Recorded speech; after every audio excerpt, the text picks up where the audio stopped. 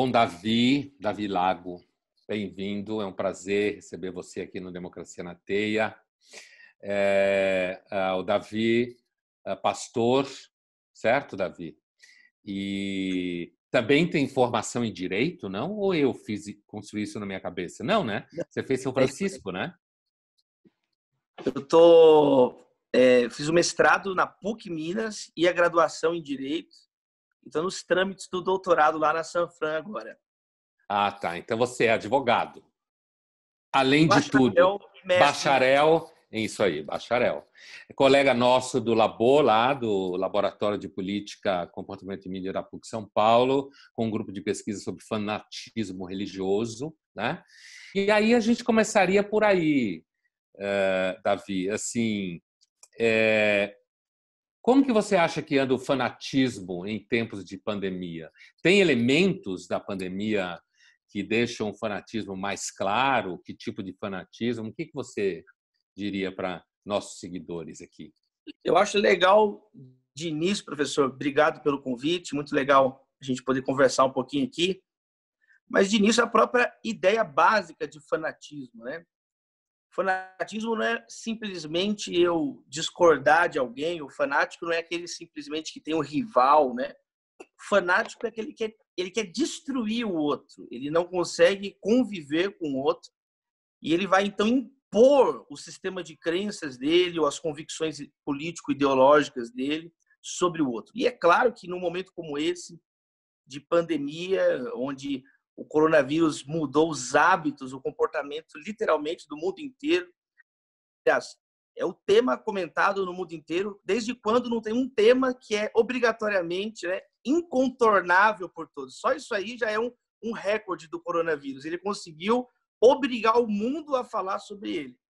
E aparecem novos tipos de fanatismos, de intolerâncias nesse período. Existem, por exemplo, eu até anotei aqui, os negacionistas científicos, eles, eles incorporam no presente um modo de fanatismo. Existe no Brasil algo muito curioso, né? O Brasil, é, todo mundo comenta que o Brasil tem três apocalipses simultâneos, né? Como se não bastasse o coronavírus, existe uma economia, uma, uma pandemia econômica grave no Brasil, que está pior do que em outras nações, e a política, né? O, o, os brasileiros se degladiando, um verdadeiro fratricídio, esse tipo de politização que não consegue abrir um parênteses ou uma epoqué mesmo em meio à pandemia, ele caracteriza também o, funda, o fundamentalismo, o fanatismo, né? E também fica muito claro, acho que no momento como esse, de, de pandemia, no Brasil especialmente, assim, um fanatismo é, que não é maturado, ele, ele não é. Ele é descontrolado. Você vê que são fanatismos individualistas também surgindo de toda maneira. Você vê no Brasil um país que não tem um museu nacional mais que pegou fogo, um, um país que não valoriza a cultura, um, um país com 27% de analfabetos funcionais, você vê que tem um, o fanatismo nosso de cada dia também agora. Vizinho gritando com vizinho. Não sei, professor, acho que é um pouco assim, de um ponto de partida para a gente analisar, trazer essas ideias, né? O, fanatismo como algo comum à humanidade e que assume formas novas no tempo presente. Agora, eu queria aproveitar uma coisa que você falou para te fazer uma pergunta, Davi. Assim, ah, você usou a expressão apocalipse, né? em algum momento aqui, Sim. quando a gente estava conversando, né? E a gente sabe que uh, na história das religiões, não só do cristianismo, né? O próprio islamismo também tem um discurso apocalíptico de fim de, fim de mundo e tal. O judaísmo também. Aliás, o apocalipsismo uh, nasceu no judaísmo, né? E depois vai migrar tanto para o islamismo quanto para o cristianismo. É, uh, você, como que você vê esse, esse vínculo entre apocalipsismo, para não falar do apocalipse bíblico enquanto tal, apocalipsismo e a pandemia, em algumas pessoas que acham que o mundo vai acabar, que o mundo nunca mais vai ser o mesmo, que a gente nunca vai poder mais beijar, sabe essas coisas? Não vai poder mais andar de mão dada. É, como que você vê isso? E se você vê algum cruzamento disso com a sua experiência eclesial, né? De pastor, Sim, é. de alguém que está numa comunidade batista, né? O Mircea Eliade, né, o cientista da religião, ele tem uma frase que eu acho muito importante para uma fala como essa. Para viver no mundo, é preciso fundá-lo antes de viver nesse mundo. Então, o Apocalipse ele está ligado ao Gênesis de qualquer crença, né? Eles se completam, né? O início e o fim se completam. Um exige o outro, como vai demonstrar o Mercé Eliade nas principais obras dele, o sagrado, o profano. Então, ele mostra que a, a estrutura de crença tem aquilo que ele chama, no vocabulário dele, de cosmificação. O religioso é aquele que tem uma sede pelo real. Todo ser humano tem uma sede pelo real religioso é aquele que vai ter uma convicção maior que o real dele é realmente o real. Nenhum de nós gosta de viver num mundo que é uma ilusão. Nós desejamos viver num mundo eficiente, num mundo que é aquilo mesmo. Eu estou participando realmente do mundo. Então, eu penso que é, o fanatismo é quando eu quero impor essa minha visão de início e de fim sobre os demais. Quando eu não consigo conviver com o Gênesis e o Apocalipse do outro. Mas mais importante ainda do que o Apocalipse, nesse sentido de fim, de teleologia ou de escatológico, né? É a ideia básica de Apocalipse enquanto revelação. Né? A palavra grega Apocalipse, ela significa, na verdade, revelação. Então, quando eu falei de momento de três apocalipses simultâneos no Brasil, não simplesmente por essa questão catastrófica, eu quis dizer é um momento onde estão sendo expostas estruturas da sociedade brasileira com uma maior é, sensibilidade, já que está todo mundo em casa, todo mundo se vende, está ficando muito claro o tipo de situação que a gente vivencia aqui no Brasil. É, inclusive em inglês, Apocalipse chama Book of Revelations, né?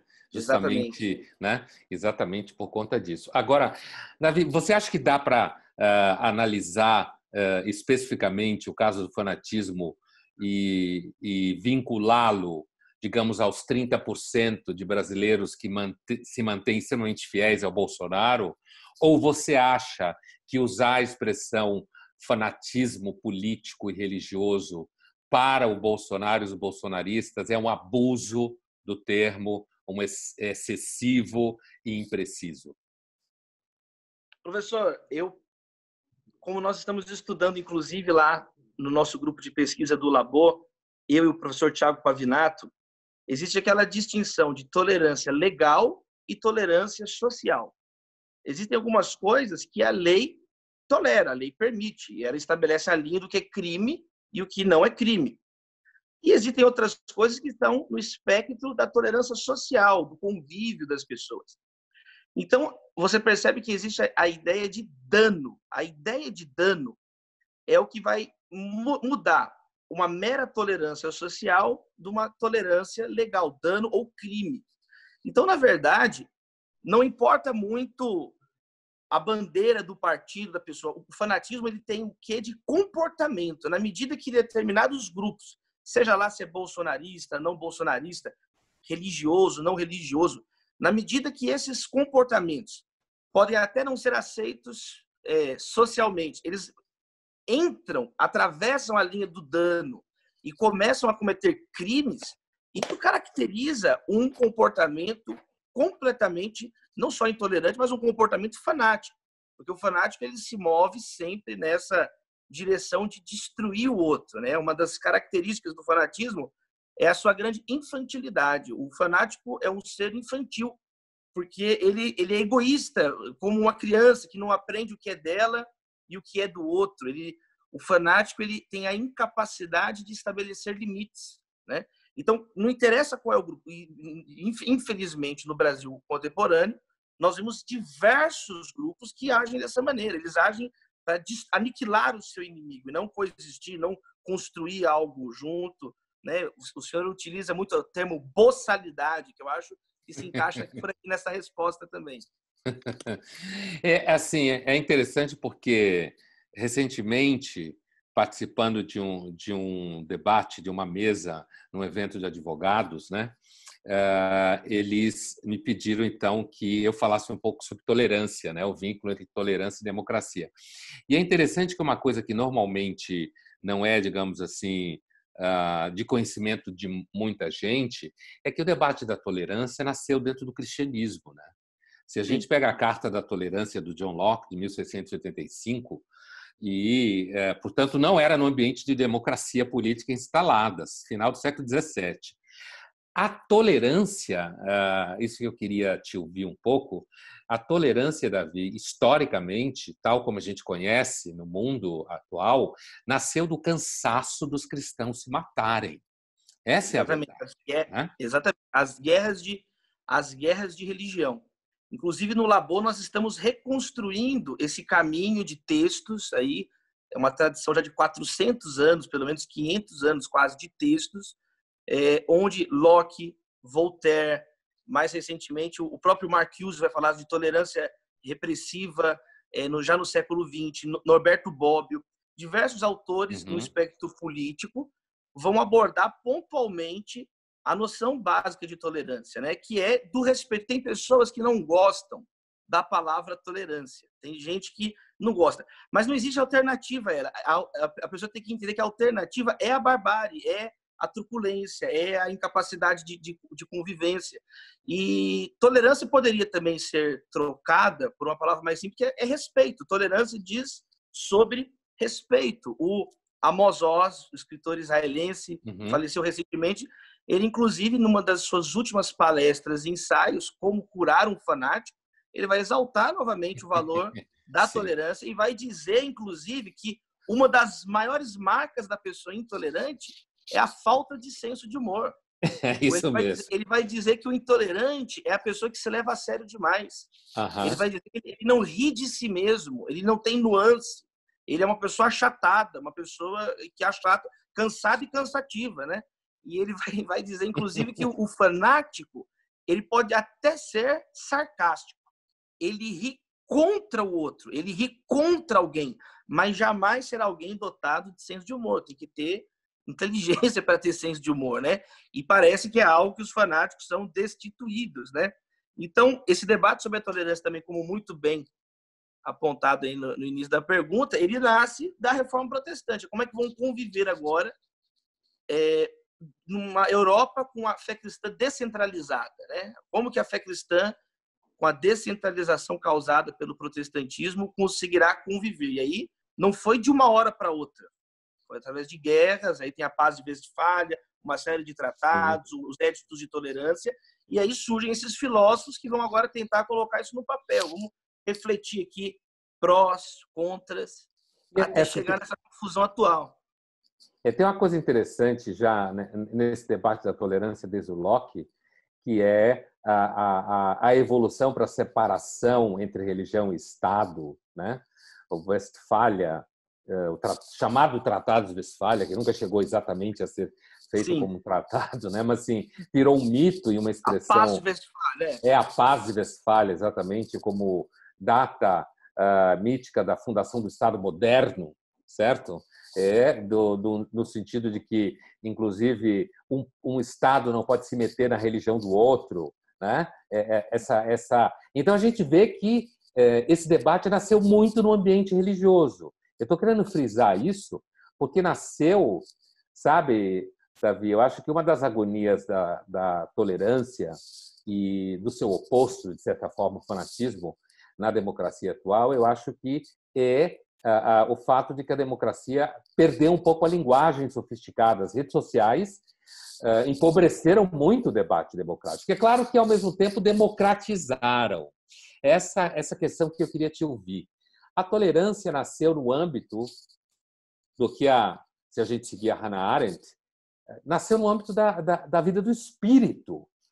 Os intelectuais cristãos, que estavam entre eles o Locke, que estavam discutindo a tolerância, eles estavam pensando, inclusive no caso do Locke, a partir da própria fé cristã, quando ele diz que a intolerância não convive bem com a fé cristã, ela é contrária à fé cristã. Né? Então você tem uma, uma atividade do espírito nisso. Eu queria te perguntar, você não acha que o fanatismo, inclusive que a gente está vivendo hoje, você recuperou a minha expressão que eu uso muito na folha de boçalidade, né? Mas é, eu vou te perguntar sobre uma outra expressão. Você acha que a, a intolerância e o fanatismo não tem muito de estupidez, de perda de inteligência, de perda da capacidade de entender que a vida é complexa inacabada e muitas vezes insatisfatória. Muitas vezes Sim. mesmo insatisfatória. O que você acha disso? Eu concordo com essa afirmação. O fanatismo, uma das marcas dele é a ingratidão. É a pessoa não agradecer o fato de que ela precisou de pelo menos duas pessoas para nascer e vai precisar de uns quatro para carregar o caixão dela, né? O, o fanatismo ele, é ilógico, por definição. Ele é uma impossibilidade, né? Por quê? Porque o ser humano ele, ele pode ser autônomo, mas ele nunca vai ser autossuficiente. É, uma, é, uma, é um ah. delírio. Então, nesse aspecto, o projeto fanático ele é um projeto delirante. Ele sai da mesa da razão por fechar a razão ao outro. Então, é, é necessário também, baseado nisso, nessa impossibilidade de realizar o fanatismo, de um totalitarismo extremo, uma quantidade infinita de violência. Por isso que a relação também de fanatismo com violência é muito grande. O fanatismo não é baseado no diálogo, no, no, no arrazoado. Eu também gosto de, de, de, comparar dois termos gregos, é né? o diálogo, que é o que a gente está fazendo agora, é o logos entre nós, atravessando um caminho. Uhum. Uma palavra alternativa é diabolos, que é o adversário, é um uhum. outro. Então, o fanatismo, ele, ele não escolhe pelo diálogo, pelo logos, pela razão, pelo arrazoado, pela democracia, pela deliberação, pela convivência, pelo amor. Ele, ele, já, ele já escolheu de antemão o aniquilamento, a destruição do outro. Ele já pegou ali o, o Sun Tzu e, come, e partiu parte da guerra, ele partiu para a barbárie. Ele, ele não tem um esforço mínimo de pensar. Ele não tem um, ele, ele joga as peças do tabuleiro para cima e tenta colocar a goela abaixo do outro é justamente isso que é o, é o fanatismo. Nesse sentido, ele é desumano. Nesse sentido, nesse sentido, nós temos que tomar cuidado com os cidadãos do contemporâneo, que está até comum uma frase agora assim: tudo é política. Essa frase é uma frase fanática. É, essa frase é um dos slogans do fanatismo. O certo seria dizer tudo é politizável. Quer dizer, tudo é Sim. passível de ser politizado. Como tudo é estetizável, como tudo é religiosizável. Você pega qualquer potência humana, seja a, estética, a capacidade, a capacidade de criar tecnologias, e, e são possibilidades. Agora, afirmar que tudo é político é reduzir a vida humana ao político. A vida humana, por óbvio, é maior do que a política. Um dos pontos que acho que todos os brasileiros vão concordar é isso: ninguém aguenta viver no Brasil desde 2013. A polarização em si não é o problema. O problema é uma polarização fanática, porque aí não é um diálogo, são monólogos simultâneos, um tentando impor sobre o outro a sua própria verdade, o seu próprio credo, e isso é boçal e isso é ressentimento. então, assim, Davi, eu queria voltar a uma frase que você usou nessa última resposta, quando você falou que o fanático é ingrato, certo? Você Sim. desdobrou na ideia de que ele ele nem lembra que ele tem duas pessoas a qual ele nasceu e vai precisar de quatro para carregar o caixão, né? Uh, ele rompe. Uma... É, então, e, e, você também falou que ele não entende que ele pode ser até autônomo, mas não é autossuficiente. É, é, essa sua, uh, essa, uh, esse seu desenvolvimento de argumento nesse momento não pode não me levar à teologia, certo? Porque quando você fala que o, o fanático é um ingrato, né? ele não é, não é possível ter, ter gratidão. E é, é interessante porque é, é, eu acho que uma das coisas que tem faltado muito nas relações é gratidão mesmo. Uh, e isso acontece, inclusive, me parece, entre crianças e mais jovens, né? falando de gente de 18, 17 uhum. anos. Tem lá uma sua uma certa autossuficiência no jovem, que é até certo ponto normal, que tem a ver com a saúde, com o fato de ter muitos anos pela frente. É até compreensível uma certa autossuficiência. Apesar de que, como o Nelson, Nelson Rodrigues dizia, é um perigo, né? Você tem que lembrar o jovem que ele envelhece, ele poder ter uma percepção da realidade mais concreta. Mas o que eu queria falar mesmo era, então, uh, Davi, a gente pode desenvolver uma reflexão sobre o fanatismo a partir da teologia da graça? Eu acho a teologia de todas as ciências humanas a mais profunda, certo? É, eu acho que a teologia lida com categorias que são abissais. A começar pela, pelo conceito de Deus, que já é um conceito abissal. Né? Então, é, é, sempre quando eu estou uh, querendo pensar uma coisa de forma mais profunda, eu penso ou ontologicamente ou teologicamente, porque são, do meu ponto de vista, acho que não só do meu, uhum. bem profundos, né? daria para pensar um pouco mais, eu queria te ouvir um pouco mais nesse vínculo que você fez entre fanatismo e ingratidão. Quer dizer, o fanatismo seria cego à graça? E, estou falando teologicamente mesmo, e, portanto, cego à gratidão justamente porque não enxerga que, no final das contas, tudo é graça? Exatamente. Ah, se você trouxer o conceito teológico de pecado, ele é inteiro fundamentado na ingratidão. A carta aos Romanos inicia basicamente o capítulo 1 inteiro. O apóstolo Paulo vai mostrar que a ingratidão é o fundamento de todo pecado. É quando eu eu rejeito a benesse que eu recebi de Deus e troco a glória do Deus imortal por imagens de quadrúpedes, répteis, seres criados à minha própria imagem e semelhança, coisas que eu invento. Então, essa recusa em agradecer, que é um outro termo teológico, é glorificar, é quase é, é, são conceitos próximos. É a raiz do pecado humano, da desgraça humana. Então, quando Jesus ele diz, não é o que entra no ser humano que o contamina, mas o que sai do ser humano que o contamina. E o que, que sai do coração humano é a ingratidão. E o orgulho está ligado ao ato da ingratidão. O orgulho, já dizia C.S. Lewis, ele é o pai de todos os pecados, porque é ele é o oposto do amor. Então, algumas pessoas pensam que o oposto do amor é o ódio. Na teologia cristã, o oposto do amor é o orgulho.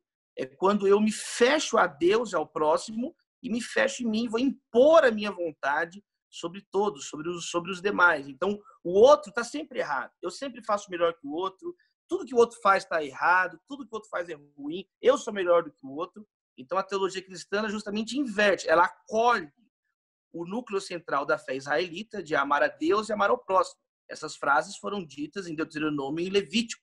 E Jesus, diante de um fariseu, ele une os dois pontos. Não significa que foi ele que fez a, a junção original, porque num trecho do Evangelho de Lucas, no capítulo 10, no trecho do bom samaritano, é o mestre da lei, o escriba, que faz essa formulação. Mas, de um modo ou de outro, o próprio Jesus diz que esse é o programa da fé dele: amar a Deus de todo o coração, alma e entendimento, e ao próximo, como a si mesmo. Dessa lei depende todas as escrituras, a lei e os profetas, Jesus vai afirmar. Então, ele mostra que toda a noção cristã está ligada ao amor, que é o oposto do orgulho, que é fundamentado na ingratidão. Então, essa espinha dorsal de raciocínio da teologia cristã joga luz em uma série de comportamentos, tanto diários quanto coletivos, que dizem respeito ao país. É, você, quando estava falando agora, você me levou diretamente ao Agostinho, que era um grande comentador de Paulo, inclusive, né? De que o pecado ele é cegueira, orgulho e revolta né? Quando um dos momentos que o Agostinho está, digamos assim, definindo o que é o pecado original, ele vai, digamos assim, desdobrá-lo em três atitudes: revolta, cegueira e orgulho, né? Soberba, como ele uh, fala às vezes. Então, assim, é, ainda no, no terreno da, da teologia, Davi, eu, eu, eu queria te escutar um pouco sobre o seguinte. Um dos desdobramentos uh, do orgulho, que você deixou muito claro o vínculo dele com o fanatismo, né? o que você falou agora, uh, e da ingratidão e de tudo mais, um dos desdobramentos do orgulho na teologia cristã não é complicar a experiência de redenção, complicar a experiência de perdão, sabe? Quando pensando aqui no final do Crime e Castigo do Dostoiévski, quando Raskolnikov finalmente é capaz de perceber que ele não estava preocupado com a humanidade nenhuma, ele só estava querendo testar a teoria dele de homem extraordinário, matando a, a né? E, e, a Sônia lhe dá o evangelho no final, ele confessa o crime e tal, ele acaba o livro justamente lendo o evangelho. Quer dizer, você acha que há um vínculo direto entre um vínculo negativo, claro, entre orgulho e a impossibilidade de redenção e de perdão? Sim, eu, eu penso que é isso. E o próprio apóstolo Paulo, em uma das passagens mais assombrosas do Novo Testamento, 1 Coríntios 13, ele vai dizer que é possível dar o corpo, ou seja, ser um mártir sem amor. Ainda que eu der o meu corpo sem amor, isso não vale nada. Então, o apóstolo Paulo, ele, nesse trecho monumental da carta aos Coríntios, ele mostra que é possível eu ter uma fachada de amor, uma fachada de Marte, de ser o bonzinho, de ser o fofinho, o inteligentinho, sempre mencionado pelo nosso excelentíssimo professor Pondé, e ainda assim fazer isso fundamentado no orgulho. E ele vai dizer, qual é a conclusão? Isso não vale de nada. Isso não vale de nada. E isso é um ponto, um aspecto importante na teologia cristã de não inverter os mandamentos. Jesus ele fala que tem um prote, um primeiro mandamento, amar a Deus, e um deutera, um segundo, um, um seguinte, que é amar ao próximo. Quando eu amo ao próximo sem o amor místico, a experiência do amor a Deus, a abertura a Deus, isso se torna uma performance. E aí a gente cai num problema muito atual, que é, são os falsos combatentes do fanatismo, os falsos combatentes da intolerância. São pessoas que têm um discurso todo de dois pesos e duas medidas. É o típico pessoa que defende ditadura em outros países, mas combate ditadura no país. É, é, é a revolução dos bichos do Orwell. É o, o, o Napoleão lá, o porco lá, o brigando com bola de neve, só aqueles porcos brigando, eles que se entendam, que na verdade eles só querem trocar o chicote de mão. Não há um real esforço pela tolerância ou de ruptura do orgulho, em prol do amor. É, porque, sabe, tem uma passagem uh, uh, no, no, Nelson Rodrigues, uma das inúmeras que eu gosto muito, e, a, e o Nelson Rodrigues é, sem dúvida nenhuma, um autor supostamente sem leitura teológica, mas de profundo, profunda compreensão da teologia cristã, né? Uh, talvez tenha entrado por osmose por conta de vídeo a família Batista e a mãe ter levado ele à igreja, sei lá. A gente não consegue. Eu tive uma aluna que tentou rastrear isso e não aparece, né? Assim, não dá para rastrear da onde que o Nelson teria tirado tanta percepção espiritual aguçada, né? E tem tem um específico, um conto que é a história de um cara entre inúmeros caras em que ele ele chega em casa e a mulher dá a testa para ele beijar e aí ele começa, os amigos começam a dizer para ele que ela tem um amante, né? Você chega em casa e a mulher dá a testa, não dá a boca, significa que ela não quer intimidade, significa que a intimidade dela está com o outro e não com você. Aí ele entra em paranoia, segue a mulher, aquela história de sempre, e ele acaba uh, dando um pé na porta do quarto, do apartamento onde ela está com o amante, não sei o quê, aquela cena típica, e o amante foge, ele vai dar um tiro na mulher, ela pula pela janela, se arrebenta toda embaixo, porque estava no primeiro andar, e ela desce e é, é, ele desce, ela já está lá embaixo, toda quebrada, ela chorando, pedindo perdão, pedindo perdão, e ensanguentada, e ele fala: Eu te perdoo, e aí a população em volta grita: Perdoa a vagabunda, não, mata essa vagabunda. Né? Quer dizer, se a gente olhar do ponto de vista do personagem, ah, ele de alguma forma superou, digamos assim, o orgulho de se sentir traído para ser capaz de conceber a ideia de misericórdia pelo desespero na qual ela se encontrava. Mas o povo não. Então, a, a última pergunta que eu queria te fazer, porque a, a, a, Fernanda já sinalizou que a gente está no final do nosso tempo, é assim. Ela está pergunta... intolerante. Dê um minuto de tolerância, Fernanda. As docas são duras, eu que sei o que eu é. sofro. Né? Então, assim, a, a, você não acha, né, nessa historinha do Nelson, o povo age de forma fanática. Quando o povo diz, perdoa a vagabunda não, mata a vagabunda, certo? Não haveria uma certa epidemia de fanatismo, inclusive nas pessoas que se acham justas, honestas e legais, justamente por se acharem justas, legais e honestas? sim, eu acho que sim, porque isso tem a ver com o que o Amos Oz fala. A pessoa ela se, le se leva a sério demais ela é alguém que não se entende perdoada, não se sente perdoada. Essa questão da falta de horizontes, da, da falta de, de ar, de oxigenação. é muito comum. E puxando aqui também uma pergunta que ficou lá atrás que me veio agora. Você me perguntou sobre experiência eclesial. Isso é algo que a gente constata na prática, sabe, professor? Sim. Cuidando de pessoas, cuidando de enlutados, cuidando de, de pessoas que estão perdendo entes queridos, cuidando em situações extremas. Eu, eu menciono a vez que eu fiz o sepultamento dos meninos que foram assassinados no colégio em Suzano, ano passado, em março do ano passado, Sim, por dois lembro. atiradores. Então imagina você agora ter que conversar com a mãe que perdeu aquele menino e tal.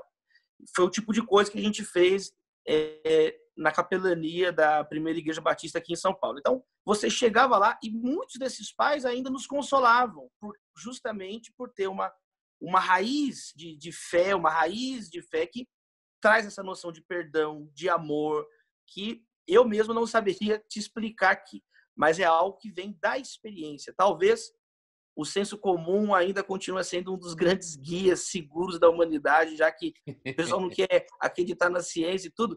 Se você, o bom senso comum da sua vovó, ele vai te, vai te dizer a mesma coisa que a cientista de ponta está dizendo. É, e nesse caso que você falou, é, é, a, a, famosa frase do, do Sartre, o inferno são os outros, às vezes não é, né?